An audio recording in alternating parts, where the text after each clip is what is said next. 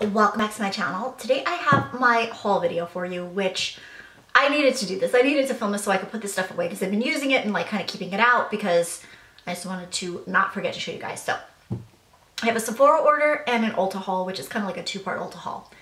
I'm gonna get started because this stuff is too good not to share. The first thing I picked up is the Laura Mercier Candle Glow Soft Luminous Foundation, which looks like this. This is the box, in case you're wondering.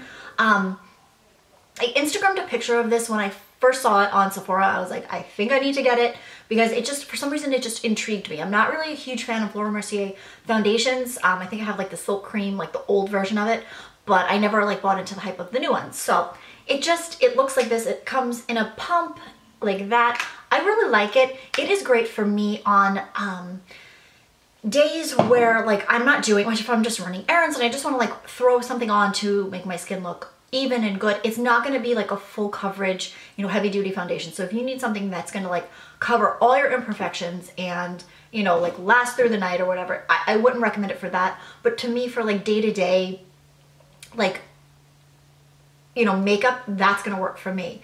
And if my skin is having a really bad skin day, I'm not to use it um, unless I just don't care about whatever shows through. But for the most part, I do have pretty decent skin, so I can get away with it. If you don't, I wouldn't recommend it because you're not going to be happy with the coverage. But it is very um, light and it is it blends very well. So that is that. Then the next thing I picked up is something I have wanted for a very long time. This is the Burberry um, Eye Color Wet Dry Glow Shadow in Nude 002. This is the box. That's it. It's right here. Um, it's actually what I'm wearing on my eyes today. If you can see on my lids, I am obsessed with this. I wanted this forever. It has been, it's always sold out like on Nordstrom and on Sephora, it would come in and then it would go away. It would come in and it would go away. So when I was placing my order and I saw that it was in stock, I had to get it. It looks like this. It is the most beautiful, like it's a most unique shade. It is like a bronzy taupe color. It reminds me, in a way, it reminds me of MAC Satin Taupe, but it doesn't have that purpley undertone. It is right here. It's more, more like a, a bronzy taupey gray color. um, it is beautiful. And this, by the way, is still, if you watch my favorites video, that is still that MAC uh, Pro Longwear pencil. It won't come off. I have to like go into the bathroom and use like eye makeup remover to get it off. Um, I just put the eyeshadow over it so it blends better. But I mean, those pencils are, are insane, but that's, that's that. Um, so I will cover that up. But that is the eyeshadow. And I just, I haven't worn it wet yet. Um, I just wore it dry and I really, I just packed it onto my lid and I didn't have any fallout. It's not like a glittery, chunky type of shadow. It's beautiful. I'm, I'm curious now to see what other shades they have in that formula because I'm, I'm hooked. the next thing I got was the one of the Hourglass Ambient Strobe Lighting Powders.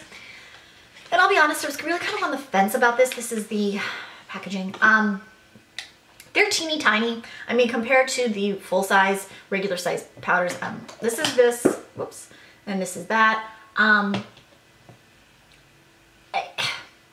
was I super impressed with this? Not really. I mean, I got it just to get it because I, I was curious to see what the hype was with these strobe powders. Um, that's like a pretty heavy swatch of this. I didn't even say what I got. I got Brilliant Strobe Light. Um, that's like a pretty heavy swatch. So, but when you blend it out, like, why you just keep blending this, it will pretty much blend away to nothing and sink into my skin, which in a way is good. It's good for like an everyday natural highlight. If you're looking for something, bam, you know, highlight on fleek, that's not gonna be it, but it is a very pretty natural, you know, shadow. It just blended all the way away. Um, I know like the big thing about this was that they released incandescent in a little thing like this instead of in that three palette thing. So I didn't get that obviously because I have it in there but um, that is good for people that really liked incandescent. So will I get more? Probably not. Um, I mean, it's good for what it is, but I'm not, it's not like drawing me in like most Hourglass products do, but it's good. Then the next thing I got, is the last thing that I purchased actually, there was this um, Makeup Forever Ultra HD Concealer. Now, this has been like floating around YouTube with a lot of mixed reviews. It looks like this. It's like a teeny tiny tube, but it's so cute. And um, it comes in an interesting little applicator like this where you can like squeeze it out, which I like because you get control over it. Whereas the MAC Pro Longwear, like pump it out and you get a ton and you waste product. But um, I like this. Like I said, I know there are mixed reviews. I think it's just in the technique and how you apply it.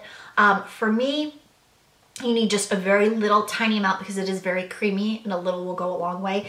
And what I like to do is dab it under my eyes and kind of blend it in a little bit with my finger, then go in with the damp beauty blender and, you know, buff it out the rest of the way. That works for me and then I just right away set it with an under eye powder. That way it won't crease. And it, it does provide good coverage. It does last um, all day and it works well also if you um, use a corrector. Um, I used it over a corrector the other day because I was really tired um, and I just needed some brightness and it worked very well. It didn't, you know, get patchy or you can layer it. So I recommend that if you want to get it, um, get a sample of it first because it may not be for everybody. I did get a sample of it and I liked it enough to purchase it just to kind of just change it up a little bit. Um, but I do like it. And then the last thing I got from Sephora was another one of these Marc Jacobs Velvet Noir um, mascaras. They did have a, when I ordered, they still did have it for the 100 Point Perk. So please check it out. See if your stores have it. This is probably one of the best mascaras I have ever used. Um, I talked about it in my favorites video, my January favorites, so go watch that. Um, and I rant all about how wonderful that mascara is. It is really good. For, for lengthening and volume, it blows the Omega volume away. And it's one of the best mascaras I've used in a long time. So that is that. Then the next part of my haul is from Ulta, which I got some good stuff at Ulta. the first thing I'm going to show you is the Urban Decay Gwen Stefani palette. This is the box. This is the beautiful palette. This is what it looks like. Um, again, it is a beautiful neutral palette that I know a lot of people are saying probably, I don't need another neutral palette. And I said that to myself as well and I wasn't gonna get it. But my um, brow girl, I get my brows done at Ulta, she convinced me to get it. She was telling me just how amazing it is to create all these different neutral looks. And I'm a sucker for neutral. And she was saying how the, the consistency is like nothing of the other Urban Decay shadows, like either in the singles or the naked palettes. And I do agree with that. The consist I'm gonna just swatch a few of these. Um, they are so like creamy and like they, they kind of blend right into my skin tone because I'm tan. But um, like they're so creamy and buttery, but they're not too soft where they're, they're gonna just like go all over the place. I really like them and that's one of the reasons why I got it because I started swatching them and I was like, oh wow, she is right. You know, this is um well like one of the shimmery shades. Um, I have worn this a lot and I have gotten a lot of use out of it. The only thing like for me, like the whole bottom row, like the, so I'm not gonna wear like pink eyeshadow, but I mean, it's good to have. Like if you're into that and you want a, a pop of color, I would recommend it. Um, this is what it looks like again, and it is a good deal. So I would say get it, especially if you like neutrals. Get it, get it, get it. Um, the next thing I got is one of the new Lorac blushes. They came out with those Color Source Buildable Blushes. This is the box. I can toss it. Um, it looks like this. It is a beautiful, it is in the shade Aura, which if you read the description, it is a dusty rose, which I'm all about that. I mean, that's like one of my favorite shades to wear. Um, that is a swatch of it. It is beautiful. The consistency is like nothing I've ever felt for a blush. It is very soft and like when you, it's kind of, it reminds me of like the shadow. So you know when you put your brush in, kind of goes everywhere. That's what it is with these blushes, but it works in a good way for them because it's they're they're super pigmented. It's not just soft where, like I said, it's gonna blow all over the place.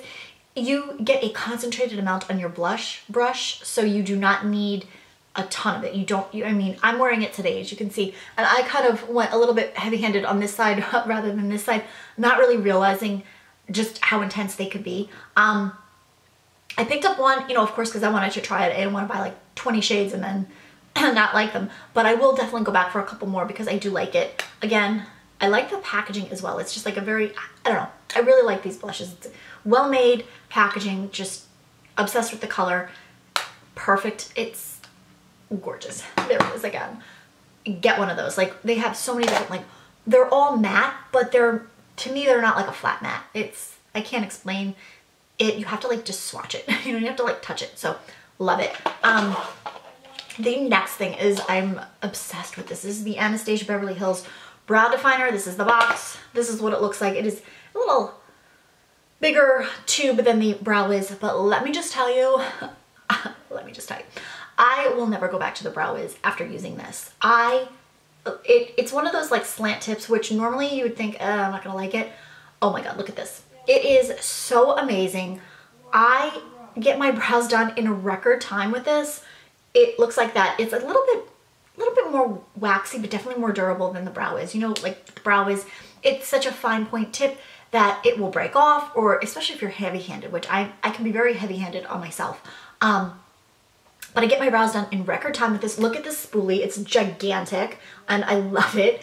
Um, if you were debating about this, if you're a devout brow wiz user, get this. It will change your brow life.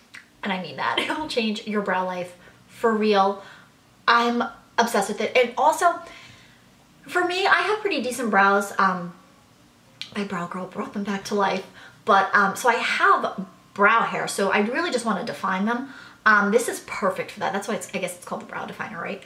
But it is so good. To me, it's so much better than the brow wiz. Where I know the brow wiz you can get really detailed and get, you know, get your hairs really defined, but I just, I love this. I will never use the brow wiz again. I don't know what I'm gonna do with them, but I'm just kidding. I love this. And I get it in medium brown. I have dark hair, but this works for me because it doesn't make my brows too harsh. So this is that. And, oh, this one. I was almost gonna forget.